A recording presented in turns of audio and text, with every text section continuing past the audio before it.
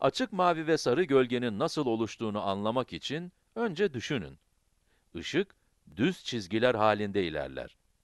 Kırmızı ampulden çıkan ışık, bu şekilde tahtaya ilerliyor ama kalem onu bu şekilde engelliyor. Kırmızı ışığın yolu bu şekilde.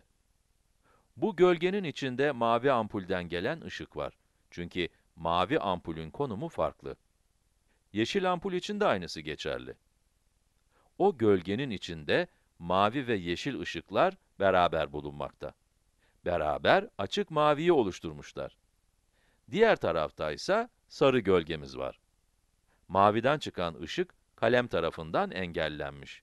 Ama kırmızı ve yeşil ampuller farklı konumdalar. Böylece onların ışıkları bu gölgeyi doldurabiliyor ve sarı gölgeyi oluşturuyor.